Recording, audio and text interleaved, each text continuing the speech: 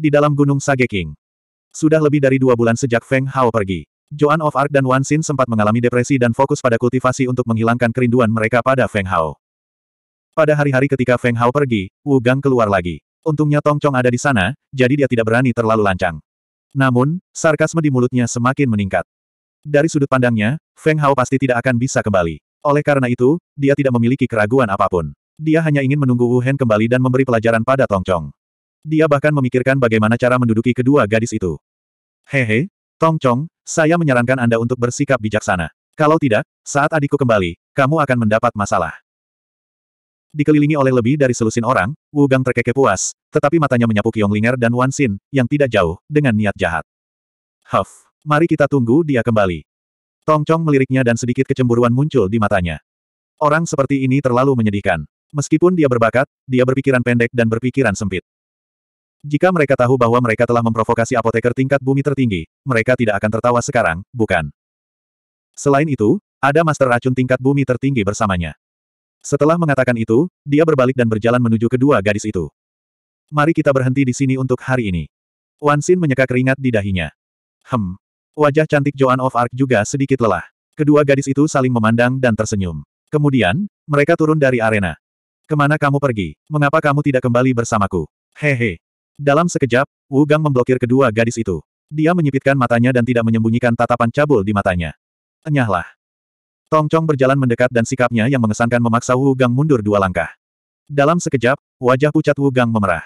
Kekuatan Tong Chong tidak diragukan lagi. Di desa pinggiran ini, tidak banyak yang bisa menjadi lawannya. Pergi. Tong Chong melirik Wu Gang, yang penuh kebencian. Dengan baik. Melirik Wu Gang dengan jijik, kedua wanita itu berpegangan tangan dan berjalan menuju halaman. Tong Chong, akhirmu tidak akan bagus. Saat adikku kembali setelah membunuh bocah itu, itu akan menjadi hari kiamatmu. Dengan gelisah, Wu Gang meraung cemas, matanya merah. Apa? Mata semua orang terfokus padanya karena kata-katanya. Wu Hen sebenarnya pergi untuk membunuh Feng Hao. Mendengar ini, bahkan lelaki tua di meja pendaftaran sedikit mengernyit. Feng Hao adalah bibit terbaik di desa perimeter luar. Jika dia terbunuh, itu akan menjadi kerugian besar bagi Sage Monarch Mountain. Namun, di luar Gunung Sage King, memang tidak ada aturan yang melarang saling membunuh. Apa, Wu Hen pergi untuk membunuh saudara Hao? Wajah Joan of Arc dan Wan Xin pun menjadi pucat saat mendengar ini. Mereka telah melihat kekuatan Wu Hen. Meskipun Feng Hao juga memiliki bakat yang saleh, dia jelas bukan tandingan Wu Hen, yang berada di puncak alam kehormatan bela diri kelas 1. Saat mereka memikirkannya, emosi mereka menjadi kacau, dan mata mereka dipenuhi kepanikan. Hehe. Melihat tatapan kaget di sekelilingnya, Wu Gang menjadi terlena. Dengan wajah penuh arogansi, dia berjalan menuju kedua gadis itu. Dia pasti akan mati, jadi. Siapa yang akan mati? Suara agak malas terdengar dari jauh. Melihat ke arah sumber suara, semua orang melihat seorang pria muda berjubah hijau berjalan ke arah mereka dengan senyum lucu di wajahnya. Di sampingnya berdiri Bai Yi dan Cheng Nan. Adapun U2O 18 dan U2O 19. Mereka sudah kembali ke halaman. Saudara Hao. Kedua gadis itu menangis dan mata mereka yang berair berkaca-kaca. Mereka langsung melemparkan diri ke pelukan Feng Hao, ingin melampiaskan segala kerinduan yang mereka miliki selama dua bulan terakhir. Konyol, bukankah aku kembali sekarang? Melihat kedua gadis dengan air mata berlinang, Feng Hao menghibur mereka dengan lembut. Mata mereka yang sedikit merah dan bengkak membuat hatinya sakit. Melihat Feng Hao dan yang lainnya telah kembali, Tong Chong menghela nafas lega. Jika Wu Hen benar-benar berhasil, masa depannya di Gunung Sage King akan sangat sulit. Bahkan Wu Hen belum mampu membunuhnya. Mungkinkah Wu Gang melakukannya dengan santai? Kerumunan itu bingung. Menurut mereka, jika Wu Hen benar-benar ingin membunuh mereka, mereka pasti mati di tangannya. Tidak ada keraguan bahwa kekuatan Wu Hen berada di sepuluh besar Dewan Konstelasi. Sementara yang lain curiga, Wu Gang tercengang. Dia sangat jelas tentang apa yang telah dilakukan Wu Hen. Sekarang Feng Hao masih hidup, bukankah itu berarti? Saat dia memikirkannya, wajahnya menjadi pucat. Hehe. Cheng Nan juga memandang Wu Gang, yang wajahnya menjadi hitam, dengan ekspresi mengejek sambil terkekeh. Anak ini mungkin tidak tahu kalau keluarganya sudah tidak ada lagi, kan? Apakah Anda ingin berlatih? Dia mengambil satu langkah ke depan. Kali ini, jika bukan karena 13, dia takut dia tidak akan bisa melarikan diri. Oleh karena itu, kebenciannya terhadap keluarga Wu cukup besar, tapi dia tidak bisa melampiaskannya. Anda. Pupil Wu Gang membesar, matanya dipenuhi ketakutan. Di bawah paksaan Cheng Nan, dia tidak bisa menahan diri untuk tidak mundur. Hanya ketika antek-anteknya menyusul barulah dia berhenti. Melihat ekspresi jahat Cheng Nan, firasat buruk muncul di hatinya. Di mana saudaraku? Dia meraung, di mana saudaraku? Apa yang kamu lakukan pada saudaraku? Hehe, bagaimana denganmu? Cheng Nan masih memiliki senyuman di wajahnya. Kata-katanya membuat hati semua orang bergetar. Apa maksudnya? Mungkinkah Hu Hen pergi untuk membunuh Feng Hao dan malah dibunuh? Mata semua orang menatap pemuda berpakaian hijau itu, hanya untuk melihat bahwa dia masih memiliki senyuman tenang di wajahnya. Namun, ketika mereka melihat senyuman di sudut mulutnya, mereka tidak tahu kenapa, tapi mereka merasakan hawa dingin di hati mereka. Pergi. Melirik Wu Gang yang tercengang, niat membunuh Feng Hao muncul. Sudut mulutnya sedikit melengkung saat dia memeluk kedua gadis itu dan berjalan menuju ke arah halaman. Tiba-tiba, rasa bahaya membuat bulu kuduknya berdiri. Hal pertama yang dia lakukan adalah mendorong kedua gadis itu menjauh. Astaga! Cahaya hitam yang menghancurkan bumi turun dari langit, jatuh tepat di atas kepala Feng Hao. Tubuhnya bersinar dengan kilau yang tak terlukiskan, dan seluruh tubuhnya terdorong ke tanah. Dengan suara keras, tanah bergetar, dan lubang melingkar besar muncul. Feng Hao menghilang tanpa jejak. Serangan mendadak itu begitu mendadak sehingga tidak ada yang bisa bereaksi. Bahkan orang tua yang bertanggung jawab di kantor pendaftaran pun selangkah lebih lambat. Dengan cepat, dia muncul di samping lubang yang dalam. Matanya bersinar saat dia melihat ke langit. Di sana, seorang lelaki tua berbaju hijau melayang di udara. Wajahnya dipenuhi aura pembunuh. Jelas sekali, dialah yang baru saja menyerang. Saudara Hao. Kedua gadis itu berteriak ketakutan. Wajah cantik mereka pucat, dan mereka mati-matian melompat ke dalam lubang yang dalam. Semuanya terjadi begitu cepat sehingga tidak ada yang bisa bereaksi sama sekali. Hanya dengan melihat lelaki tua di langit, semua orang merasakan hati mereka bergetar. Terlalu kuat. 402. Tidak ada yang tahu siapa dia, dan tidak ada yang tahu mengapa dia menyerang. Kakek yang hebat. Saat itu, Wu Gang berteriak kaget, wajahnya penuh kegembiraan. Saat dia berteriak, hati semua orang bergetar.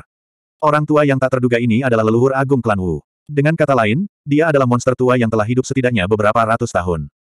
Monster tua itu telah muncul. Orang-orang ini dikutuk. Cheng Nan dan yang lainnya menjadi pucat. Leluhur agung klan Wu terlalu kuat. Dia bukanlah seseorang yang bisa mereka lawan. Penatua Wuli, apa yang dia coba lakukan? Penatua Cu di kantor pendaftaran berbicara, matanya tertuju pada leluhur agung klan Wu, Wuli. Hanya membunuh. Wuli berbicara dengan suara penuh amarah. Dari nada bicaranya, sepertinya dia tidak mempedulikan lelaki tua di kantor pendaftaran itu. Ini adalah Gunung Sage King. Wajah Penatua Chu menjadi gelap dan suaranya seperti guntur. Pada saat yang sama, hatinya bergetar ketika mengingat apa yang telah terjadi. Mungkinkah Hu Hen benar-benar mati? Seorang yang terhormat bela diri puncak telah mati di tangan seorang pemuda yang hanya seorang leluhur bela diri. Pemikiran itu sungguh sulit dipercaya. Oh tidak, masih ada satu yang tersisa. Cheng Nan dan yang lainnya merasa getir. Mereka seharusnya sudah memikirkan hal ini sejak lama. Jika klan Wu tidak memiliki siapa pun di Gunung Sage King, mereka tidak akan menjadi salah satu dari sepuluh keluarga teratas. Namun, semuanya sudah terlambat. Tiga belas masih di klan Feng. Sudah terlambat baginya untuk bergegas. Cupu, apakah kamu mencoba menghentikanku? Mata Wuli bergerak-gerak. Aura pembunuhnya melonjak dan auranya yang tak terbatas menekan. Kerumunan merasa tercekik ketika mereka memandangnya dengan ketakutan. Wow, tampaknya peringkat kultivasi Wuli lebih tinggi daripada penatua cupu di kantor pendaftaran. U2O1B. Tegur cupu. Wuli mengabaikan aturan Sage King Mountain. Tahukah Anda konsekuensinya? Pak Tua, jangan gunakan aturan untuk menekanku. Jika kalian tidak bergerak, aku akan membunuh kalian berdua hari ini. Uli tidak menghargainya sedikit pun, dan dia berjalan turun dari langit selangkah demi selangkah. Auranya yang mengesankan menyebar dan bergelombang seperti gelombang pasang, dan semua orang mau tidak mau terdorong mundur. Huh, saya ingin melihat bagaimana Anda membunuh saya. Ekspresi cupu menjadi dingin saat auranya melonjak. Seperti batu yang membandel di arus deras, aura di sekitarnya mulai meluap ke segala arah. Namun, dari segi aura, dia memang kalah dengan Wuli. Tidak baik. Cheng Nan dan yang lainnya juga tidak berdaya. Sekalipun Mo 218 dan Mo 219 datang, mereka tidak akan bisa membantu. Bagaimanapun juga, Wu Li jelas merupakan seorang martial honorable peringkat 4. Gas beracun Mo 219 tidak akan banyak berpengaruh padanya. Sial, andai saja 13 ada di sini. Melihat lubang yang dalam, hati Cheng Nan bergetar. Apakah mungkin baginya untuk bertahan hidup setelah terkena peringkat 4 martial honorable? Apakah monster dari satu generasi akan mati seperti ini? Brengsek. Dia benar-benar ingin mengabaikan segalanya dan bergegas maju, tetapi di bawah aura yang mengesankan ini, dia menemukan bahwa dia tidak bisa bergerak sedikitpun. Seorang martial honorable peringkat 4 sudah berada di puncak rilem martial honorable. Itu bukanlah sesuatu yang bisa ditanggung oleh leluhur bela diri. Wu Gang juga tercengang. Melihat kekuatan Wuli yang meluap-luap, dia tiba-tiba berpikir. Mungkinkah kakaknya benar-benar sudah mati? Saat dia memikirkannya, gelombang kesedihan muncul dari lubuk hatinya. Kakek buyut, beberapa dari mereka juga merupakan kaki tangannya. Anda harus membunuh mereka. Dia mengulurkan tangannya dan menunjuk ke arah Cheng Nan dan yang lainnya sambil berteriak keras. Matanya dipenuhi dengan kekerasan. Dia ingin orang-orang ini mati, mereka harus mati. Ketika dia memikirkan kematian Wu Hen, dia benar-benar menjadi gila dan wajahnya dipenuhi kedengkian. Brengsek. Melihat Wu Li memperhatikan mereka, hati Cheng Nan bergetar. Kali ini, semuanya benar-benar berakhir. Mereka tahu bahwa keluarga Wu telah dihancurkan dan lelaki tua ini pasti sudah gila. Dia pasti tidak akan berhenti. Kalian semua harus mati. Memang benar, saat mendengar teriakan Wu Gang, Wu Li kembali menggila. Cahaya hitam melonjak dan menutupi seluruh langit. Suara deburan ombak seperti suara tsunami. Bum bum bum. Ombak yang bergelombang jatuh dari langit. Wu Li menjadi gila. Dia tidak ingin membunuh satu atau dua orang, dia ingin membunuh semua orang di depannya. Sial, apakah orang tua ini gila? Aura yang luas membuat Cupu tidak mampu menahannya dan dia terpaksa mundur. Dia tidak mengerti mengapa Wu Li begitu ceroboh. Bahkan jika Wu Hen sudah mati, seharusnya tidak demikian. Perlu diketahui bahwa pendatang baru di sini berasal dari berbagai kekuatan. Apakah keluarga Wu ingin menjadi musuh publik? Energi yang meluap membuat semua orang buru-buru menolak. Namun, itu seperti percikan api, tidak ada gunanya. Saat mereka menutup mata dan menunggu kematian, suara yang memekakkan telinga terdengar. Desir. Seolah-olah langit dan bumi telah terkoyak. Awan gelap di langit langsung terbelah dua. Sinar matahari yang menyilaukan kembali menyinari. Semua orang melihat seorang lelaki tua berwajah dingin melayang di langit. Astaga! Dia mengulurkan tangannya dan menamparkan. Uli terlempar dan jatuh ke tanah. Beberapa tulangnya patah. Dia terjatuh di sana dan tidak bisa bangun untuk waktu yang lama. Itu hanya satu serangan, tapi kekuatannya luar biasa. Uli tidak bisa melawan. Penatua Lu Lagu. Wajah cupu penuh kegembiraan. Orang yang datang adalah Asura Dingin, Lu Song. Dia pasti seorang raja bela diri. Semua orang terkejut. Jika dia bukan seorang martial king, lalu siapakah dia? Wajah Huli penuh kebencian dan niat membunuh. Namun, dengan kehadiran Lu Song, dia masih tidak berani bertindak sembarangan. Apa yang telah terjadi? Melihat lubang besar di tanah, Lu Song mengerutkan kening. Suaranya nyaring dan menakutkan. Karena Feng Hao berada di luar desa, Lu Song sering memperhatikan situasi di sini. Dia bergegas ketika dia melihat sesuatu yang tidak biasa. Penatua Hulilah yang menyerang murid-murid desa luar. Kata Cupu. Menyerang murid-murid desa luar. Dua tatapan tajam tertuju pada Wuli, menyebabkan tubuhnya gemetar. Meskipun dia adalah seorang marsial yang mulia, dia masih jauh dari tandingan Lu Song. Oh tidak, Feng Hao. Cheng Nan dan yang lainnya sadar dan bergegas menuju lubang yang dalam di tanah. Mereka tidak tahu apakah Feng Hao sudah mati atau masih hidup. Feng Hao. Mendengar nama itu dan melihat sosok yang dikenalnya, mata Lu Song berbinar. Mungkinkah? Dia punya firasat buruk. Dia melihat sekeliling tetapi tidak melihat jejak Feng Hao dan kedua gadis itu. Brengsek. Aura besar muncul dari tubuhnya, mengguncang seluruh dunia. Dia memelototi Wuli dan memarahi. Beraninya Wuli menyerang murid desa luar. Apa? Mendengar suara tegas Lusong, sebelum Wuli sempat bereaksi, dia merasakan tekanan besar jatuh di dadanya. Seketika, dadanya roboh dan dia mengeluarkan seteguk darah. 403. Melihat Wuli meludahkan darah, semua orang tercengang. Bahkan Wuli dan Cupu tidak mengerti. Mengapa Penatua Agung Lusong begitu marah? Tidak ada yang tahu alasannya. Pikirkan tentang itu. Tidak peduli betapa berbakatnya seorang pemula, bisakah dia dibandingkan dengan seorang penatua? Ini benar-benar mustahil. Brengsek. Lu Song sangat marah saat melihat jurang maut. Dia menamparkan Wuli lagi dan mengirimnya terbang. Wuli memuntahkan seteguk darah dan banyak tulangnya patah.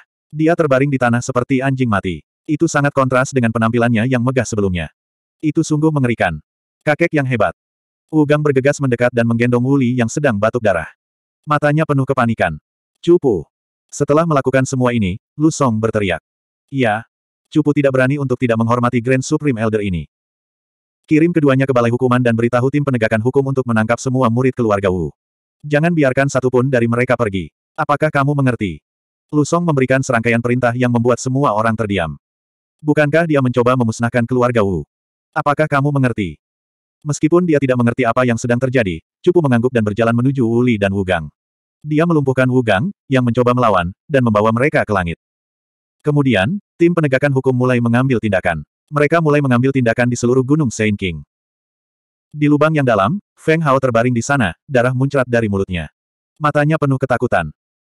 Kali ini, jika dia tidak memiliki bakat pertahanan kura-kura hitam, dia akan mati secara tidak wajar.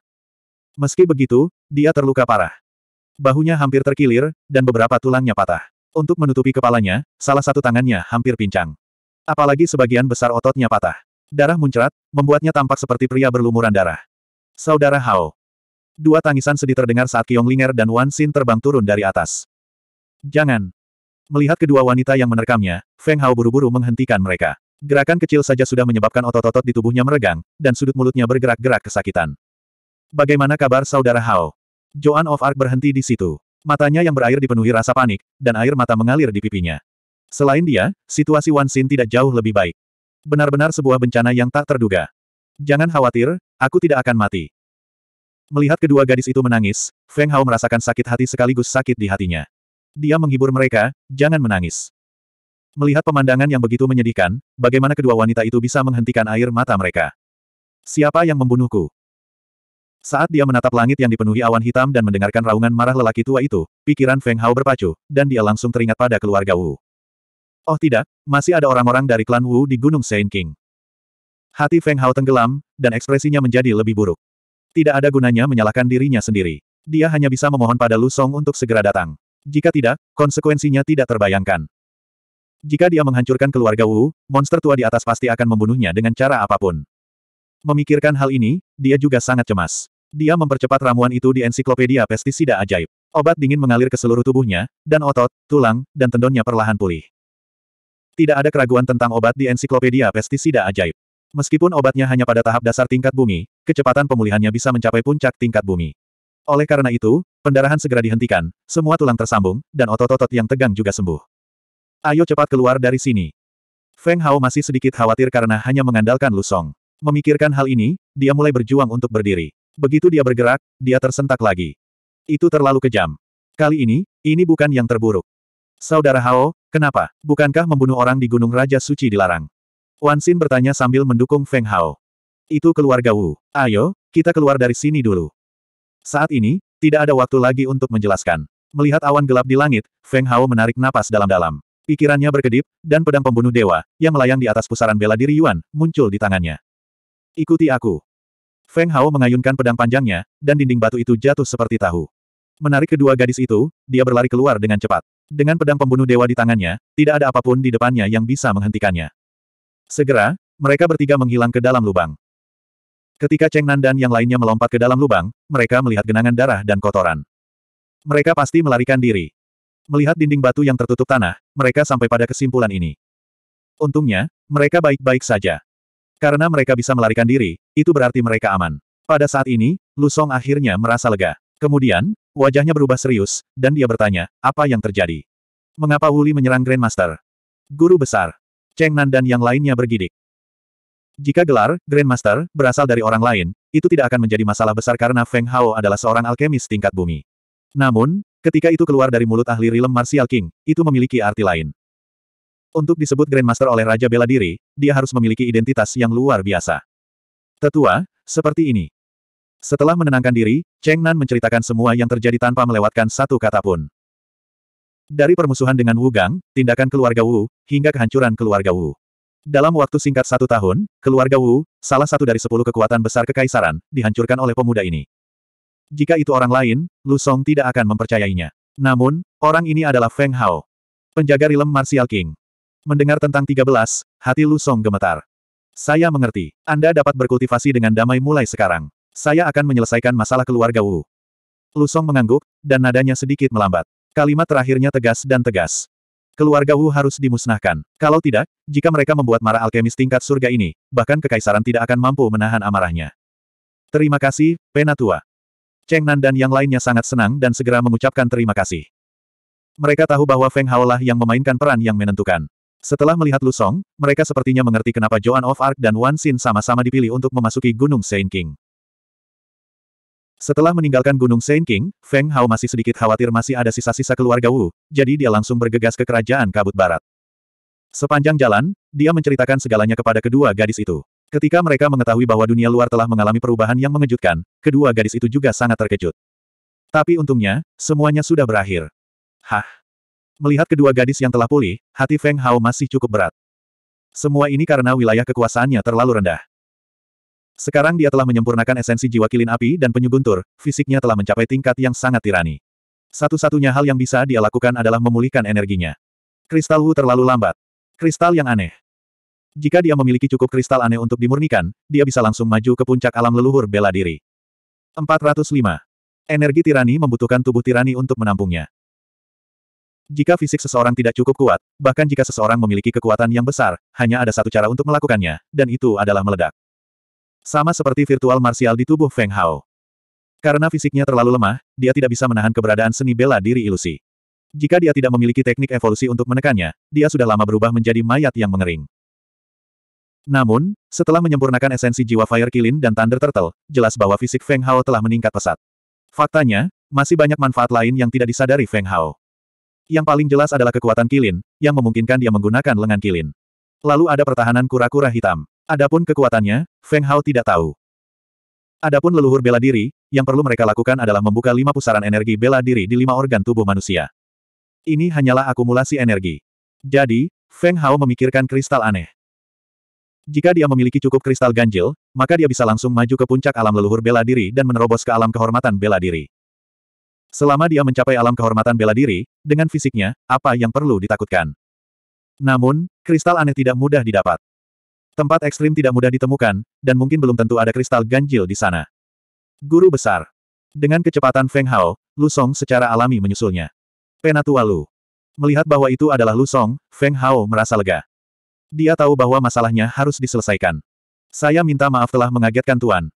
Melihat Feng Hao yang berlumuran darah, Lu Song masih sedikit ketakutan. Di saat yang sama, dia terkejut. Uli adalah yang terhormat bela diri peringkat puncak empat. Dia pasti menggunakan kekuatan penuhnya untuk membunuh Sumo. Namun, pemuda itu masih hidup. Bukankah ini buktinya? Lebih penting lagi, dia telah mendengar dari Cheng Nan bahwa ada Raja Bela Diri yang tinggal di keluarga Feng Kerajaan Kabut Barat. Seseorang membunuh Raja Wu dari keluarga Wu. Pemuda ini terlalu misterius. Terkadang, Lu Song sering bertanya-tanya apakah dia benar-benar keturunan keluarga kerajaan di kerajaan tersebut. Klan Feng. Memang benar, hal itu belum pernah terjadi sebelumnya. Untungnya. Dengan santai mengayunkan tangan dan kakinya, Feng Hao kurang lebih telah pulih ke keadaan normalnya. Keluarga Wu, Saifex telah dikendalikan sepenuhnya. Jangan khawatir, Guru. Lu Song menjelaskan lagi. Terima kasih, Penatua Lu. Sudut mulut Feng Hao melengkung. Dia tahu hasilnya ketika dia melihat Lu Song. Pada titik ini, Joan of Arc dan Wan Xin merasa lega. Magister dan BSP. Melihat Feng Hao tidak marah, Lu Song menghela nafas lega dan segera menyampaikan undangan. Seorang alkemis tanpa temperamen seperti ini jelas merupakan makhluk langka di dunia ini. Ini. Feng Hao ragu-ragu. Meskipun budidaya di alam Gunung Saint King beberapa kali lebih cepat dibandingkan di dunia luar, namun hal itu jelas tidak secepat memurnikan kristal aneh. Itu saja. Melihat Lu Song mengerutkan kening, Feng Hao terkekeh dan menjelaskan, Penatu Walu, Saifex sedikit istimewa. Gunung Sage Monarch memang merupakan tempat yang bagus untuk bercocok tanam, tetapi tidak cocok untuk BSP. Tidak cocok. Kedua gadis itu dan Lu Song memandangnya dengan heran. Itu benar. Feng Hao mengangguk, matanya berkedip. U2O1 membutuhkan kristal ganjil, apakah Penatu Walu punya kabar? Kristal aneh, atribut es dan api. Lu Song sedikit mengernyit dan bertanya. Apa saja, asalkan itu kristal ganjil. Apa pun. Lu Song terkejut lagi dan memandangnya dengan heran. Apa yang sedang terjadi? Mungkinkah? Memikirkan kemungkinan, hatinya bergetar hebat. U2O1 lebih istimewa. Di bawah tatapan herannya, Feng Hao tersenyum dan mengangguk. Dia tidak perlu menyembunyikan ini lagi. Selain itu, dia yakin Lu Song tidak akan menyebarkannya. Sejak saat ini, Feng Hao mempercayainya. Merasa. Lu Song menghirup udara dingin. Bahkan jika dia berpengetahuan luas, dia tidak bisa menahan keterkejutan di hatinya saat ini. Pemuda ini menentang surga. Dia bisa memurnikan kristal ganjil dengan atribut apa pun. Konsep macam apa itu? Ini benar-benar belum pernah terjadi. Apalagi belum pernah ada orang di dunia ini yang bisa memiliki dua atribut sekaligus. Namun, dia sudah memiliki dua atribut dan dapat memadukannya dengan sempurna. Memikirkan hal ini, Lu Song sedikit lega. Joan of Arc dan Wan Xin juga agak terkejut, tapi lebih dari itu, mereka bangga. Inilah pria yang ada di hatiku. Kedua wanita itu percaya bahwa Feng Hao pasti akan berdiri di puncak benua. Karena dia tidak akan kalah dari siapa pun. Saya mengerti. Lu Song menarik napas panjang, tapi masih ada sedikit ketakutan di matanya. Dengan membalikkan tangannya, dia mengeluarkan sebuah gulungan dan menyerahkannya kepada Feng Hao. Tempat-tempat ini mungkin menghasilkan kristal aneh, kamu bisa mencobanya. Terima kasih, Penatua Lu. Feng Hao sangat gembira dan segera mengambilnya. Saudara Hao. Kedua wanita itu berdiri di samping dan secara alami memahami niat Feng Hao. Aku berangkat lagi. Inilah yang tidak mereka inginkan, tetapi mereka tidak ingin menyeret Feng Hao ke bawah, jadi emosi mereka sangat rumit saat ini. Hehe. Memeluk kedua wanita itu ke dalam pelukannya, Feng Hao memeluk mereka rata-rat. Merasakan tubuh mulus kedua wanita itu, jantungnya juga sedikit panas, dan napasnya sedikit cepat. Merasakan gerakan Feng Hao yang tidak biasa, rona merah menawan muncul di wajah cantik kedua wanita itu. Untuk sesaat, mereka sangat cantik. Melihat pemandangan ini, wajah Lu Song berkedut, dan dia berbalik, pura-pura tidak melihatnya. Linger, Siner. Setelah sedikit kehangatan, Feng Hao menarik napas dalam-dalam, menekan kegelisahan di hatinya, dan dengan lembut menarik perhatian kedua wanita itu sebelum berkata. Kau tahu, sebenarnya Saifex tidak ingin meninggalkanmu, tapi jika dia tidak punya kekuatan, dia tidak bisa melindungimu sama sekali. Memikirkan kejadian ini, Feng Hao sedikit takut. Jika Cupu tidak menghentikannya, maka akan sulit untuk melarikan diri kali ini. Beri Saifex dua tahun, setelah dua tahun, Saifex akan kembali dan menikahimu. Saat dia mengatakan itu, dia penuh dengan kesombongan. Dua tahun, paling lama dua tahun untuk menjadi ahli bela diri. Kembalilah dan nikahi kamu. Kata-kata ini membuat wajah cantik kedua wanita itu semakin merah, namun mereka semakin bahagia. Mereka telah lama menunggu beberapa kata ini. Mengapa Linger dan Siner tidak bersedia? Melihat penampilan malu-malu kedua wanita itu, Feng Hao meringkuk di sudut mulutnya. Matanya penuh senyuman, tapi kata-katanya terdengar sedikit kecewa. Tidak. Kedua wanita itu mengangkat kepala, dan pada akhirnya, mereka melihat mata Feng Hao yang agak lucu. Keduanya mengangkat tinju dan memukul dada pemuda itu beberapa kali. Setelah kehangatan, tibalah waktunya berpisah. Dengan berpisah, pasti ada reuni. Perpisahan itu menyakitkan, tapi reuni itu manis. Mengapa, Ling, Er, Sin Er, apakah kamu ingin aku menikah denganmu sekarang? Melihat kedua wanita itu enggan melepaskannya, Feng Hao sedikit main-main. Kedua wanita itu sangat bersedia, tetapi mereka juga tahu bahwa ini bukan saat yang tepat. 406. Setelah berpegangan tangan dan berbalik, mata Joan of Arc dan Wan Xin sedikit sedih. Mereka harus menunggu dua tahun lagi. Mereka menggigit bibir dan berusaha untuk tidak menunjukkan kesedihan mereka. Mereka tidak ingin Feng Hao mengkhawatirkan mereka, jadi mereka harus kuat. Fiuh. Menghembuskan napas ringan, hati Feng Hao juga sedikit sedih. Dia tidak ingin kedua gadis itu bersedih, tapi demi stabilitas masa depan, dia harus melakukan ini. Virtual martial selalu menjadi ancaman terbesar. Jika dia tidak bisa mengendalikannya, dia tidak akan merasa nyaman. Penatualu, aku serahkan segalanya padamu. Feng Hao dengan hormat memberi hormat pada Lu Song. Guru, jangan khawatir. Selama Lu Song ada di sini, dia tidak akan pernah membiarkan mereka kehilangan sehelai rambut pun. Lu Song berjanji secara langsung. Kalau begitu, dia harus merepotkan Lu Song. Dengan jaminan dari Raja Bela Diri ini, apalagi yang perlu dikhawatirkan Feng Hao. Saat dia berbalik, Feng Hao bertanya lagi. Penatualu, pernahkah Anda mendengar tentang Kihua? Begitu dia mendengar dua kata ini, tubuh Lu Song gemetar, sudut mulutnya bergerak-gerak, dan wajahnya berubah drastis. Mengapa guru menanyakan hal ini? Mata Lu Song sedikit mengelak, dan dia bertanya dengan tidak wajar. Penatua Lu mengetahui keberadaan Ki Hua. Awalnya, itu hanya pertanyaan biasa. Melihat ekspresi Lu Song, mata Feng Hao berbinar dan dia langsung bertanya. Ini. Lu Song mengerutkan kening, seolah ada sesuatu yang sulit untuk dikatakan. Mengapa? Hati Feng Hao jatuh, dan dia mengerutkan kening dan berkata dengan sangat serius. Penatua Lu, sejujurnya, saya sangat membutuhkan Kihua. Jika Anda tahu, tolong beritahu saya, ini sangat penting bagi saya. Tetapi, melirik pemuda yang berhati-hati itu, kerutan di dahi Lu Song semakin dalam. Dia membuka mulutnya beberapa kali, dan akhirnya mendesah pelan. Mendesah, Tuan harus memilikinya. Dia harus memilikinya. Feng Hao mengangguk dengan serius. Hal ini terkait dengan kebangkitan Elder Fan. Selama masih ada secercah harapan, dia tidak akan menyerah. Mendesah. Lu Song menghela nafas lagi, dan matanya menjadi agak jauh. Ki Hua, Ki Guo, itu hanya legenda. Legenda. Feng Hao tertegun dan langsung bertanya. Mungkinkah bunga Ki tidak ada di dunia ini? Iya. Lu Song menjawab dengan pasti. Di bawah tatapan bingung Feng Hao, dia membalik tangannya dan mengeluarkan sebuah gulungan dan menyerahkannya kepadanya.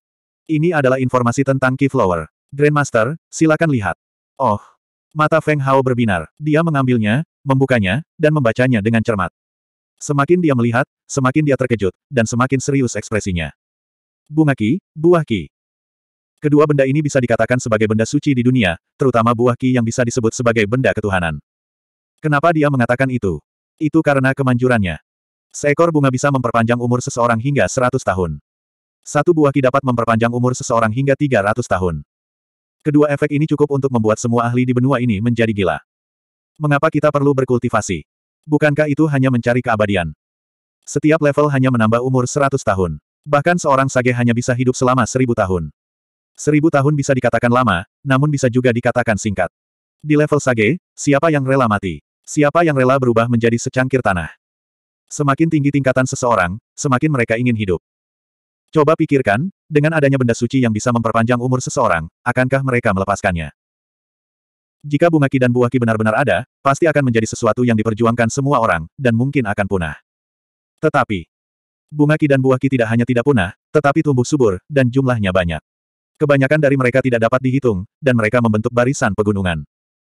Mengapa benda suci yang membuat semua ahli menjadi gila bisa tumbuh begitu subur? Kita harus tahu bahwa bunga ki dan buah ki adalah benda suci yang bahkan membuat para sage tergila-gila. Tidak peduli seberapa besar kekuatannya, mereka pasti tidak akan bisa mengendalikannya. Lalu, kenapa hanya bisa membuat orang menghela nafas? Alasannya sederhana. Karena bunga ki dan buah ki, kedua benda suci ini tumbuh di salah satu dari enam area terlarang di benua langit bela diri, tanah kehidupan terlarang. Tanah kehidupan terlarang sudah ada sejak zaman kuno. Dalam seribu mil, siapa pun yang masuk ke dalamnya akan mati. Kebanyakan dari mereka akan tersedot hingga kering, dan seluruh energinya akan kembali ke tanah. Ini adalah area terkutuk. Di dalam, selalu terdengar lolongan dewa ganas yang mengguncang langit. Banyak orang dengan alam rendah akan tersesat dalam lolongan ini jika mereka terlalu dekat. Mereka akan masuk dalam keadaan linglung, dan pada akhirnya, mati tanpa mengetahui alasannya. Tidak ada yang tahu apa suara lolongan itu. Sejak zaman kuno, setelah bertahun-tahun, lolongan ini tidak pernah berhenti. Terlebih lagi, di dalam tanah terlarang ini, bahkan para sage pun tidak bisa terbang. Mereka hanya bisa berjalan. Awalnya, kawasan ini tidak akan banyak menarik perhatian. Namun, di area inilah yang membunuh semua makhluk hidup, bunga ki dan buah ki dapat memperpanjang umur seseorang. Oleh karena itu, tidak diketahui berapa banyak ahli yang kehilangan nyawa di tanah terlarang ini. Bisa dikatakan setiap jengkal tanah terlarang itu terdiri dari tulang belulang para ahli. Bahkan jumlah sage yang tewas tidak diketahui. Tanah kehidupan terlarang selalu menjadi misteri. Itu adalah misteri yang tertinggal dari zaman kuno, dan tidak ada yang tahu alasannya. Mungkin hanya kaisar yang telah mengintimidasi dunia selama era purbakala yang mengetahui satu atau dua hal. Terlebih lagi, justru karena kaisar yang telah memetik bunga ki dan buah ki dan menghadiahkannya kepada mereka yang telah melakukan perbuatan baik maka efek dari kedua benda suci ini telah diturunkan. Namun, selain kaisar ini, tidak ada seorang pun yang berhasil. Jika tidak, tanah kehidupan terlarang tidak akan menjadi salah satu dari enam wilayah terlarang di benua ini. Yang disebut tanah terlarang adalah tanah kematian. Siapa pun yang masuk akan mati, terlepas dari tingkat budidaya mereka. Tanah terlarang. Feng Hao mengerutkan kening. Membaca deskripsi tanah terlarang pada gulungan itu, Feng Hao juga merasakan hawa dingin di tubuh dan pikirannya. Bahkan para sage pun tidak akan ragu untuk mati. Tidak peduli betapa sombongnya mereka, mereka tidak akan berpikir bahwa mereka bisa dibandingkan dengan para sage, bukan.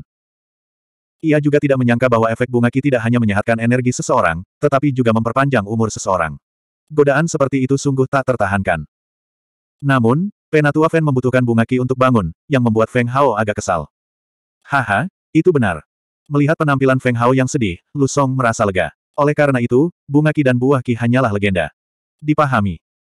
Feng Hao menyerahkan gulungan itu kembali ke Lu Song, tetapi di dalam hatinya, dia sudah menghafal rute menuju tanah terlarang. Terima kasih, Penatua Lu. Mengatakan itu, dia mengeluarkan sebuah kotak giok kecil. Di dalamnya, terdapat benih teratai milik Raja Tanaman Teratai Merah. Bawalah ini bersama Anda, dan ini dapat menekan penyakit tersembunyi di tubuh Anda. Minum obatnya setiap hari, dan saat Anda kembali lagi, penyakit tersembunyi itu akan hilang sekaligus.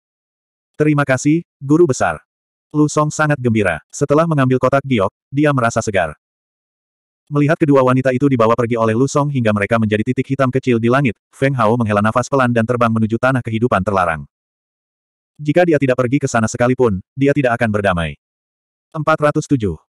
Setelah setengah bulan, Feng Hao telah lama meninggalkan wilayah dinasti emas. Sepanjang perjalanan, dia makan dan tidur di alam terbuka dan melewati enam tempat ekstrim, namun dia bahkan tidak mendapatkan satu pun kristal ganjil. Ini membuatnya menghela nafas karena kristal ganjil tidak semudah itu didapat. Pertama-tama, ada banyak sekali pembangkit tenaga listrik di dunia. Bahkan jika kristal ganjil diproduksi, mereka pasti sudah disita oleh pembangkit tenaga listrik sejak lama. Oleh karena itu, Feng Hao dianggap beruntung. Lagi pula, pembangkit tenaga listrik biasa meremehkan pergi ke kerajaan kecil. Saat ini, hari sudah larut malam. Awan menutupi bulan dan bintang, dan keadaan sangat gelap. Ada lampu di depannya, dan sebuah kota kecil terlihat. Dia melirik beberapa bumbu yang tersisa di ring dan melangkah maju. Meskipun dia tidak memiliki kebutuhan makanan yang tinggi, selalu baik untuk mendapatkan bumbu. Bagaimanapun, dia tidak bisa memperlakukan dirinya sendiri dengan terlalu buruk. Ketika dia mendekat, itu hanya bisa dianggap sebagai kota kecil. Saat ini, sebagian besar orang sudah memasuki alam mimpi, dan hanya sedikit lampu yang masih bersinar.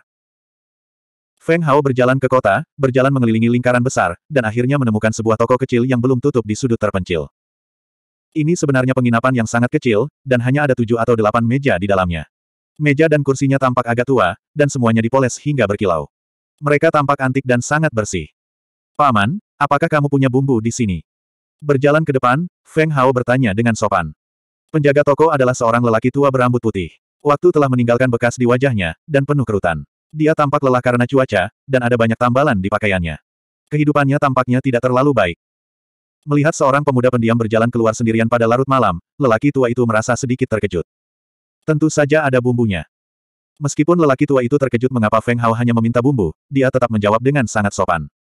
Siapkan seratus kati untuk saya bawa. Eh. Orang tua itu memandang Feng Hao dengan tercengang. Setelah beberapa saat, dia kembali sadar dan tersenyum pahit. Saudaraku, aku tertawa. Bagaimana toko kecil ini bisa memiliki seratus kati bumbu? Ini. Feng Hao menatap kosong sejenak, lalu segera melihat sekeliling. Penginapan ini terlihat sangat tua. Memang tak ada bandingannya dengan penginapan-penginapan mewah di kota-kota besar. Kemudian bawakan beberapa piring dan anggur. Mari kita tunggu sebentar dan lakukan persiapan. Penginapan itu terlalu kecil, dan kondisi kehidupan lelaki tua itu tidak terlalu baik. Dia adalah penjaga toko, pelayan, dan juru masak. Tak lama kemudian, ayam bakar harum tersaji. Mencium aromanya, air liur Feng Hao hampir mengalir keluar. Kiu-kiu kecil, yang berada di dadanya, juga menjulurkan kepalanya, matanya yang besar berbinar. Suara mendesing. Tanpa menunggu Feng Hao bergerak, Xiao Qiu Qiu sudah mengambil inisiatif. Sambil memegang sepiring ayam panggang, ia mulai menggerogotinya di atas meja, pantatnya yang berbulu menghadap Feng Hao. Dengan sepenuh hati pada ayam panggang di depannya, ia mengabaikan tatapan marah Feng Hao. Eh. Sudut mulut Feng Hao bergerak-gerak. Dia tersenyum canggung pada lelaki tua yang tercengang itu. Paman, ini hanya satu. Bisakah saya menyusahkan Anda untuk mendapatkan yang lain? Ini. Orang tua itu terkejut. Jejak rasa malu melintas di wajahnya saat dia tersenyum pahit. Sejujurnya, toko tersebut tidak lagi memiliki ayam panggang. Tidak lagi. Feng Hao terkejut sejenak, lalu dia tersenyum dan berkata, bawakan aku apa saja. Oh iya, bawakan aku bumbu saja.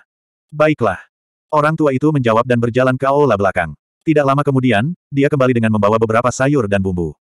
Terima kasih paman. Feng Hao berkata dengan sopan. Dia mengeluarkan sepotong besar daging binatang dari cincinnya. Dengan rentangan telapak tangannya, energi bela diri menyembur keluar. Beberapa saat kemudian, aroma daging menyebar. Dia sebenarnya adalah seorang seniman bela diri. Melihat energi bela diri Feng Hao memancar keluar, lelaki tua itu tampak sangat terkejut. Cara dia memandang Feng Hao juga banyak berubah. Kakek, kenapa kamu belum tutup? Saat ini, seorang gadis berusia 16 atau 17 tahun keluar dari rumah. Pakaiannya ditambal dan dia berpakaian sangat sederhana dan sederhana. Rambutnya disisir menjadi dua kuncir dan dia terlihat sangat manis. Matanya yang berair begitu jernih sehingga orang bisa melihat dasarnya. Tidurlah dulu, kita akan tutup sebentar lagi. Melihat gadis itu keluar, alis lelaki tua itu sedikit berkerut. Gadis itu melihat daging panggang di tangan Feng Hao. Matanya yang besar tidak bisa bergerak. Dia diam-diam menelan seteguk air liur dan mengangguk tanpa sadar. Oh. Namun, dia tidak bisa menggerakkan kakinya. Gadis yang murni dan lugu. Feng Hao secara tidak sengaja melirik sekilas, dan kilatan cahaya melintas di matanya. Meskipun gadis muda itu berpakaian sederhana, dia cantik alami, seperti putri cantik dari keluarga sederhana. Dia lembut dan ulet seperti air mengalir. Sepasang matanya jernih dan tidak ternoda oleh dunia biasa, menggambarkan kecantikannya yang luar biasa. Namun, matanya menatap lurus ke arah daging panggang di tangannya tanpa berkedip. Ekspresinya penuh hasrat. Aku sangat menyesal. Pria tua itu dengan cepat berjalan mendekat dan menarik gadis itu ke ruang belakang. Oh, Putri Chen tua akhirnya mau keluar. Suara ceroboh terdengar dari luar penginapan. Suara ini menyebabkan wajah lelaki tua itu menjadi pucat pasi. Dia mendorong wanita muda itu ke dalam kamar, menutup pintu, dan memaksakan senyum saat dia berjalan menyambut suara itu. Feng Hao juga mengerutkan alisnya. Dia melihat ke arah pintu dan melihat seorang pria muda dengan rambut berminyak dan wajah bedak. Dia dikelilingi oleh beberapa penjaga yang tinggi dan kekar saat dia berjalan menuju penginapan. Mata pemuda itu tertuju pada pintu kayu itu. Matanya berkedip karena kata-kata kotor. Sudut mulutnya menunjukkan senyuman lucu saat dia berkata kepada lelaki tua itu. Apa, apakah kamu tidak boleh makan di sini? Tidak ada hal seperti itu. Tidak ada hal seperti itu. Orang tua itu tersenyum meminta maaf. Tua, melihat tuan mudamu ada di sini, mengapa kamu tidak membawa Nona Sisi keluar untuk melayaninya? Seorang penjaga yang tampak galak maju selangkah dan memelototinya saat dia mencaci maki. Jelas sekali, orang-orang ini ada di sini demi gadis itu. Kalau tidak, dengan pakaian mereka, mereka tidak akan datang ke penginapan kecil ini untuk makan. Tua, dia tidak ada di sini kali ini. Ayo cepat. Jika Anda terlambat, robohkan penginapan ini. Rubah tua terkutuk, dia benar-benar berani menyinggung tuan mudaku lagi dan lagi. Dia tidak ingin hidup. Beberapa penjaga yang tinggi dan kekar memarahinya, memaksa lelaki tua itu mundur berulang kali dengan ekspresi sedih di wajahnya. Melihat semua itu, senyuman di wajah bedak pemuda itu semakin lebar. Dia berpura-pura memarahi mereka. Apa yang sedang kamu lakukan? Tidak baik menakuti Nona Sisi. Bersikaplah lembut, mengerti. Ya, ya, tuan muda benar. Hehe, Tuan Muda masih lebih protektif terhadap kaum Hawa. Beberapa pria kekar buru-buru mengangguk dan membungkuk. Kata-kata menyanjung keluar dari mulut mereka. 408. Bibir Feng Hao melengkung menjadi seringai dingin ketika dia melihat sekelompok orang menggunakan wortel dan tongkat. Kemampuan akting mereka terlalu kasar. Cepat siapkan makanan dan anggurnya. Bawa Nona Sisi keluar, kalau tidak. Huff. Seorang pria berotot dengan wajah galak menatap pria tua itu dengan pandangan mengancam. Sejujurnya, kami tidak punya daging lagi. Orang tua itu hanya bisa tersenyum pahit mendengarnya. Orang-orang ini berasal dari keluarga besar di kota, dan mereka cukup berkuasa. Sejak pemuda tampan ini secara tidak sengaja melihat Chen Sisi, dia datang untuk membuat masalah setiap hari, menyebabkan Chen Family Inn yang malang tidak dapat bertahan lebih lama lagi. Tidak ada daging. Beberapa pria kekar segera mengambil kacamata mereka dan mendekati pria tua itu dengan ekspresi garang di wajah mereka. Kentut tua, apakah kamu mengolok-olokku? Apa menurutmu tidak ada daging di penginapan? Seorang lelaki berotot melangkah maju dan meraih kerah lelaki tua itu sambil berteriak. Saya pikir Anda menjadi semakin bingung seiring bertambahnya usia. Pak Tua Chen, berhentilah berlama-lama. Jika kamu tidak bersiap-siap, aku akan menghancurkan penginapanmu. Pria berotot di sampingnya berteriak.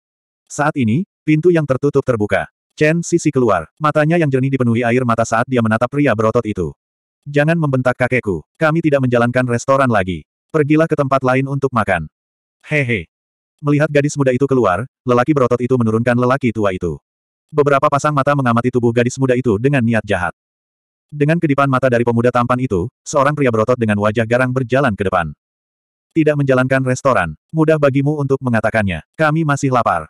Dia melebarkan matanya. Penampilannya yang garang membuat gadis muda itu mundur beberapa langkah. Dia menatapnya dengan wajah ketakutan. Lelaki tua itu buru-buru mendukung gadis itu dan menempatkannya di belakangnya. Dia berkata kepada yang lain, kami benar-benar tidak ingin berbisnis lagi. Toko ini benar-benar tidak bisa dibuka lagi. Kalian harus pergi ke tempat lain. Pria kekar itu tiba-tiba melintas dan meraih kerah pria tua itu. Dia berkata dengan dingin, dasar tua bangka, kamu benar-benar menjadi semakin keras kepala selama dua hari terakhir ini. Kamu membuat kami marah. Hari ini, kami akan membakar rumah anjingmu. Jangan pukul kakekku. Chen Sisi terisak dan air mata terus mengalir dari matanya. Dia mengangkat kepalanya dan memohon, tolong lepaskan kakekku. Dia sudah berusia lebih dari 70 tahun. Pria berotot itu sepertinya tidak mendengarnya. Cengkeramannya masih sangat erat, dan leher lelaki tua itu sedikit memar. Wajahnya yang keriput menjadi merah karena mati lemas, dan dia terbatuk-batuk dengan keras. Mata gadis itu berkaca-kaca. Dia menarik lengan pria kuat itu dan menangis dengan cemas dan menyedihkan, tolong, lepaskan kakekku. Dia tidak bisa bernapas. Namun, dengan kekuatannya yang lemah, bagaimana mungkin dia bisa menggerakkan pria kekar yang jelas-jelas berada di alam roh bela diri ini? Hicks Hicks, kakekku sudah berumur lebih dari 70 tahun. Jangan cubit dia, lepaskan dia. Gadis itu mengguncang lengan pria kuat itu sekuat tenaga. Wajahnya berkaca-kaca, tapi sekuat apa pun kekuatan yang dimilikinya, itu sia-sia. Hehe, tidak apa-apa jika Anda tidak ingin makan, tetapi Anda harus pergi bersama tuan muda kami. Pria kekar itu terkekeh dan menatap rakus ke arah tubuh langsing gadis itu. Muncul di matanya. Tidak. Mendengar ini, mata lelaki tua itu dipenuhi ketidaksabaran dan dia berjuang sekuat tenaga. Tua, apakah kamu ingin mati?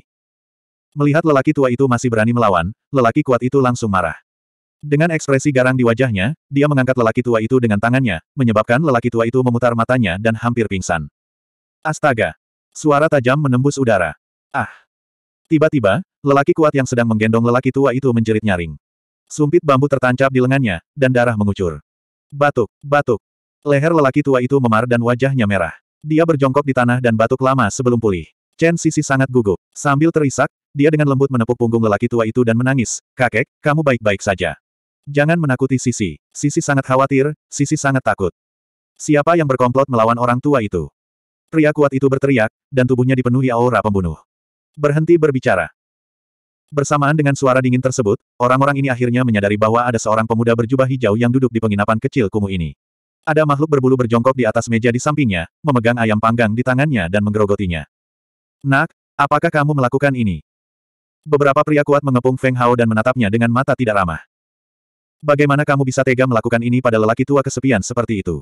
Apa kamu masih manusia? Mata Feng Hao berangsur-angsur menjadi dingin. Dia dengan dingin menatap mereka, dan tidak ada emosi dalam kata-katanya. Melihat perampokan yang begitu dahsyat, dia sangat marah. Dari mana datangnya bajingan kecil ini? Bagaimana kamu bisa berbicara seperti itu? Orang-orang ini tidak akan membiarkannya begitu saja. Aura mereka meledak, menyebabkan penginapan kumuh itu bergetar. Bajingan, dari mana datangnya bocah liar ini? Beraninya kau melukaiku. Hari ini, aku akan mengulitimu hidup-hidup. Pria berotot dengan sumpit di lengannya bergegas mendekat dan mengangkat tangannya untuk menamparkan wajah Feng Hao. Ah! Namun, orang ini langsung berteriak dengan sedih. Karena Feng Hao yang pertama bertindak. Dia mengulurkan tangannya dan mencubit lengan pria itu yang sudah mengeluarkan banyak darah. Orang-orang yang hadir tidak tahu seberapa besar kekuatan yang dimiliki Feng Hao. Mereka semua mengira luka pria itu telah disentuh, dan itulah sebabnya dia berteriak dengan sangat sedih. Pa! Feng Hao mengayunkan telapak tangannya. Dengan suara, Pak pria berotot itu terlempar secara horizontal, menabrak meja persegi di belakangnya. Serangkaian darah muncrat dari mulutnya dan terbang sejauh tiga atau empat meter. Dia berjuang untuk memanjat dan mengeluarkan tujuh atau delapan gigi. Bajingan, bunuh bajingan ini untukku. Wajah lelaki kuat itu penuh amarah. Wajahnya yang tampak galak hampir berubah bentuk, dan matanya hampir menyemburkan api. Orang-orang ini tidak menyadari bahwa Feng Hao berbeda dari orang biasa. Dengan suara, wash mereka semua mengelilinginya. Mata Feng Hao dingin, dan sosoknya bersinar. Pa, pa, pa. Kemudian, lebih dari selusin tamparan terdengar berturut-turut. Feng Hao masing-masing mengangkat tangan kiri dan kanannya, dan menamparkan wajah mereka dengan keras. Kamu bajingan, kamu bahkan tega menindas orang tua yang kesepian dan anak yang lucu. Kamu benar-benar pantas mati. Kekuatan Feng Hao begitu besar sehingga jika dia tidak mengendalikan kekuatannya, dia bisa langsung membelah kepala orang-orang ini. Meski begitu, lebih dari selusin geraham mereka terlepas. Mulut dan hidung mereka berdarah, dan gigi mereka tanggal saat berguling-guling di tanah. Ah! Kelinci kecil, bajingan, kamu berani memukul kami. Itu membunuhku, mulutku. Orang-orang ini dipukuli oleh Feng Hao dan berguling-guling di tanah, berteriak berulang kali. Sangat menyedihkan. 409. Banyak hal terjadi terlalu cepat. Pemuda tampan, lelaki tua, dan gadis itu semuanya tercengang. Ada lebih dari selusin Master Realm Martial Spirit. Mereka dipukuli oleh seorang pemuda, tetapi mereka bahkan tidak memiliki kekuatan untuk melawan. U2O1P. Melihat pemuda yang berdiri di depannya, mata pria berwajah merah muda itu melebar dan tanpa sadar dia mundur selangkah. Wajahnya memerah dan sedikit kemarahan muncul di matanya. Siapa sebenarnya pemuda ini? Beraninya kamu ikut campur dalam urusan keluarga Fan. Keluarga penggemar. Cahaya dingin muncul di mata Feng Hao. Seperti sambaran petir, Ri 1B meraih kerah Ri 1B. Feng Hao menyipitkan matanya. Enyahlah. Jika aku bertemu denganmu lagi, aku akan membunuhmu. Kata-kata Feng Hao kasar, menyebabkan tubuh pemuda itu bergetar. Matanya dipenuhi ketakutan. Saat itulah, dia merasakan aura kematian. Maafkan aku, Paman. Saya lupa bahwa kita berada di toko kecil. Aku harus merepotkanmu untuk membersihkannya nanti. Aku akan membuangnya sekarang. Saat Feng Hao berbicara, dia meraihnya satu persatu dan membuang semuanya seolah-olah itu sampah. Lelaki tua, lelaki muda, berada dalam keadaan emosi yang kacau. Dia merasa seolah telah melepaskan semua amarah di hatinya. Tubuhnya gemetar saat dia melihat Feng Hao seolah sedang melihat dewa. Chen Sisi berdiri di samping, air mata masih mengalir di wajah cantiknya. Mulut kecilnya sedikit terbuka, dan matanya yang jernih dipenuhi rasa tidak percaya. Ri 1B yang melanggar hukum di kota dihentikan oleh Ri 1B yang tidak terlihat jauh lebih tua dari mereka. Terima kasih atas bantuanmu, adikku. Lelaki tua itu berjalan dengan bantuan gadis itu, lelaki muda itu. Matanya berkaca-kaca, dan suaranya tercekat oleh emosi. Dia tahu jika bukan karena Feng Hao, Chen Sisi akan direnggut oleh orang-orang ini. Orang tua Chen Yi, putra dan menantunya telah pergi selama lebih dari satu dekade, meninggalkan si kecil di rumah untuk diurus oleh orang tua itu. Dalam sekejap mata, lebih dari satu dekade telah berlalu, dan si kecil telah tumbuh dewasa. Dia adalah putri dari keluarga sederhana, dan kecantikannya telah menarik banyak perhatian. Oleh karena itu, setelah Chen Sisi dewasa, dia tidak meninggalkan rumah selama beberapa tahun. Secara kebetulan, dia dilihat oleh tuan muda keluarga penggemar, yang menyebabkan serangkaian bencana. Memikirkan Risatu B keluarga San, mata Chen Yi berkilat karena sedikit kekhawatiran. Paman, ini hanya masalah kecil, tidak perlu terlalu sopan. Melihat kekhawatiran di mata lelaki tua itu, Feng Hao tiba-tiba mengerti. Jika kamu merasa nyaman, aku akan tinggal di sini selama beberapa hari. Bagaimana menurutmu? Tempat ini sangat dekat dengan tanah terlarang, dan kebetulan dia bisa mengumpulkan beberapa informasi di sini. Ini. Chen Yi ragu-ragu. Dia tidak khawatir Feng Hao akan memiliki desain pada Chen Sisi, karena sejak awal, matahari 1B Feng Hao jernih, tanpa sedikit pun ketidakmurnian. Dia tahu kalau pemuda ini bukanlah orang yang mesum.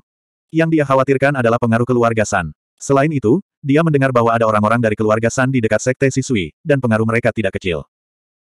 Bagaimana mungkin orang biasa seperti dia berharap bisa melawan faksi sekuat itu? Adikku, lebih baik jangan terlibat dalam hal ini. Memikirkan hal ini, mata Chen Yi meredup. Jangan khawatir, Paman, saya tahu apa yang harus saya lakukan. Feng Hao tersenyum dan menepuk tangan lelaki tua itu, menghiburnya. Diam-diam, dia menyuntikkan beberapa obat Ri 1B ke tubuh lelaki tua itu, menghilangkan rasa tidak nyaman di tubuh Ri 1B. Setelah beberapa saat, memar di leher lelaki tua itu juga hilang, dan semuanya kembali normal. Ahli kedokteran. Merasakan perubahan pada Ri 1B, mata Chen Yi melebar saat dia berseru.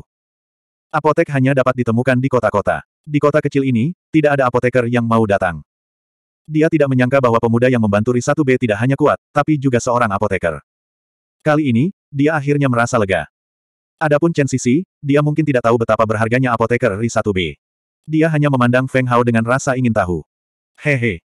Ditatap oleh mereka berdua, Feng Hao merasa tidak nyaman, jadi dia tersenyum malu-malu. Sial, apa-apaan ini? Ketika dia berbalik, dia melihat bola kecil sudah selesai memakan ayam panggangnya dan saat ini sedang memakan daging panggang yang baru saja dipanggangnya. Little Ball sedang menikmati daging panggang yang baru saja dimasaknya. Bagaimana dia bisa melupakan hal itu? Sudut mulut Feng Hao bergerak-gerak. Dia memelototi Little Ball, tapi Little Ball sepertinya tidak menyadarinya dan terus memakan daging ri 1B panggang. Sepertinya dia harus memanggangnya lagi. Ngomel. Tiba-tiba, suara lembut, ri 1B, terdengar. Setelah itu, wajah cantik Chen Sisi memerah. Dia belum makan selama sehari. Itu. Feng Hao menggaruk kepalanya, membalik tangannya, dan mengeluarkan sepotong besar daging binatang, menyarankan. Anda tidak ingin makan bersama kami. Ini. Chen Yi ingin menolak Ri 1B, tapi saat dia melihat tatapan serakah di mata Ri 1B, hatinya sakit. Dia berkata, karena kamu sangat menghargaiku, ayo makan bersama. Kemudian, Chen Yi menyiapkan beberapa hidangan vegetarian dan mereka bertiga selesai makan. Ini mungkin makanan termewah yang pernah disantap kakek dan cucunya selama bertahun-tahun.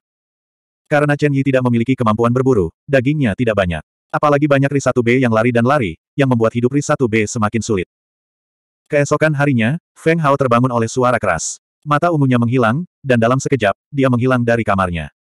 Pintu RIS 1B sudah rusak. Di luar pintu, ada puluhan pria RIS 1B yang tampak galak. Tuan Muda Fan ada di antara mereka. Matanya dipenuhi kebencian saat dia menatap ke dalam penginapan. Di sampingnya berdiri seorang lelaki tua bermata segitiga. Wajahnya muram, dan dia tidak terlihat seperti orang baik. Tuan Muda Fan ingin membalas dendam, tetapi dia sudah melepaskan semua kepura-puraannya. Dia bertekad untuk mengambil kembali Chen Sisi hari ini, tapi dia takut Feng Hao akan melarikan diri. Jadi, dia membawa Ri 1B elit keluarganya dan datang ke sini pagi-pagi sekali. Tidak jauh dari situ, penduduk kota Ri 1B berkumpul. Mereka menunjuk ke penginapan keluarga Chen, dan mata mereka dipenuhi rasa cemburu. Namun, mereka takut dengan Ri 1B keluarga San. Meski marah, tidak ada yang berani melangkah maju. U2O1P. Melihat pintu yang rusak, Chen Yi sangat marah hingga tubuhnya gemetar. Matanya dipenuhi keputusasaan. Dia tidak memiliki seni bela diri apa pun dan hanya memiliki sedikit keahlian. Dia harus membuka penginapan untuk mencari nafkah. Jika dia menghancurkan penginapan itu, bukankah itu sama saja dengan memotong mata pencahariannya? Panggil bajingan itu dari tadi malam, atau aku akan membakar penginapan rusak ini. Ri 1B dengan wajah bengkak berteriak. Matanya dipenuhi dengan kebencian. Dia adalah salah satu penjaga tadi malam. Ada beberapa orang lain yang bahkan tidak bisa bangun dari tempat tidur hari ini. Jika bukan karena tabib, mereka pasti sudah terbaring di tempat tidur selama beberapa hari lagi. Suara mendesing. Mengikuti suara lembut Ri 1B yang menerobos udara, seorang pemuda berbaju hijau berdiri di pintu masuk penginapan. Melirik ke pintu yang rusak, Ri 1B Feng Hao mengerutkan alisnya. Matanya bersinar karena kedinginan. 410. Setelah melihat penampilan Feng Hao, Master Fan dan beberapa pria berotot dengan wajah bengkak merasakan hati mereka bergetar. Silakan gunakan domain pinyin situs ini untuk mengunjungi kami. Takut dipukuli. Bunuh dia. Hadiah 100 ribu koin emas. Mata Tuan Muda Fan bersinar dengan cahaya yang tajam saat dia berkata dengan dingin. Dengan perintahnya, puluhan penjaga rilem martial spirit bergegas menuju Feng Hao dengan senyum di wajah mereka. Di mata mereka, Feng Hao telah menjadi domba gemuk, domba gemuk senilai seratus ribu koin emas. Ha! Sudut mulut Feng Hao melengkung menjadi lengkungan dingin. Menggunakan Meteor Steps, dia berubah menjadi bayangan. Yang paling. Bang! Dengan baik. Serangkaian suara renyah, suara teredam, dan suara patah tulang terus-menerus bergema di tempat kejadian. Ke mana pun bayangan itu lewat, orang-orang kekar itu jatuh ke tanah satu persatu, kehilangan kemampuan untuk melawan. Semuanya jatuh dengan satu gerakan. Penjaga rilem martial spirit ini seperti kertas di tangannya. Dengan pukulan biasa, mereka langsung pingsan. Merasa. Adegan itu dipenuhi dengan suara udara dingin yang dihisap. Sepasang mata yang terkejut menatap bayangan yang berkedip-kedip itu.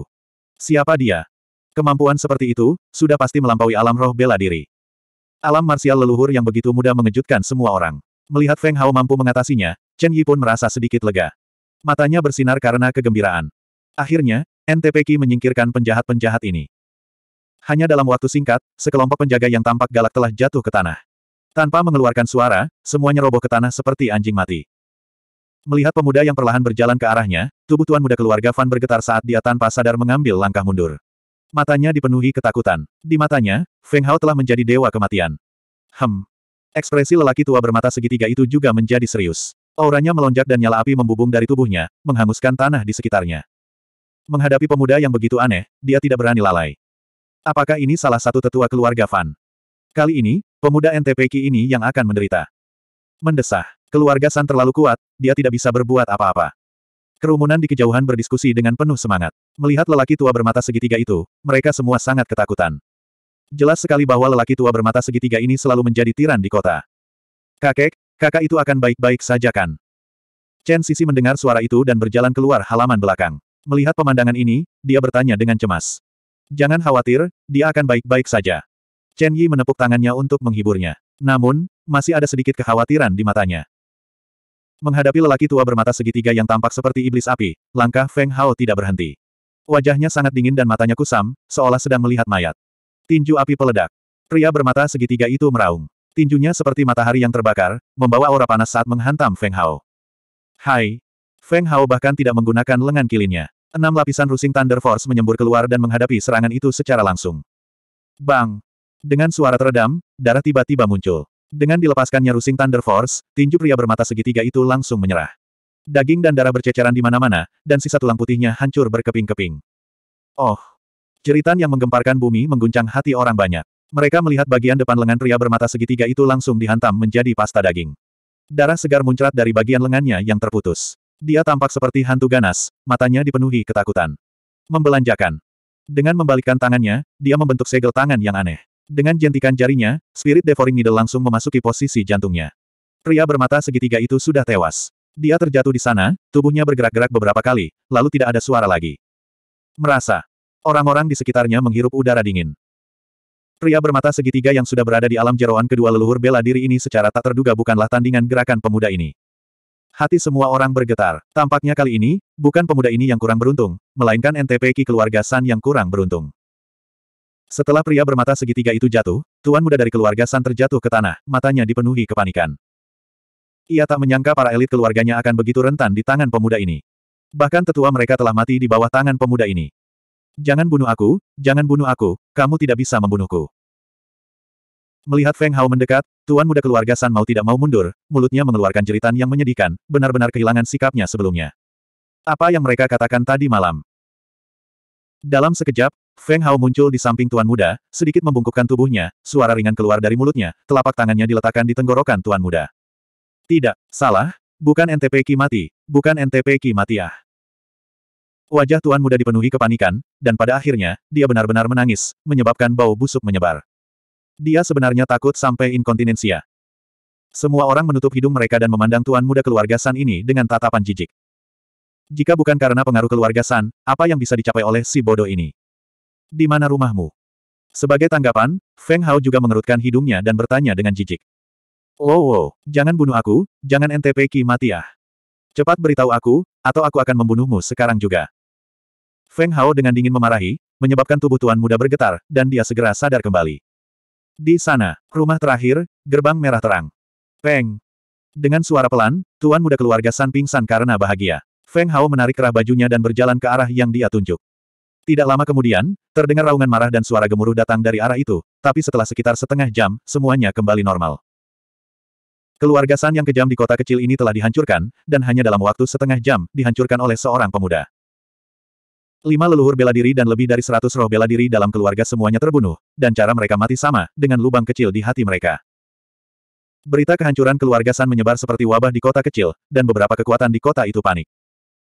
Jika orang ini memiliki kekuatan untuk menghancurkan keluarga San, maka dia harus memiliki kekuatan untuk menghancurkan mereka.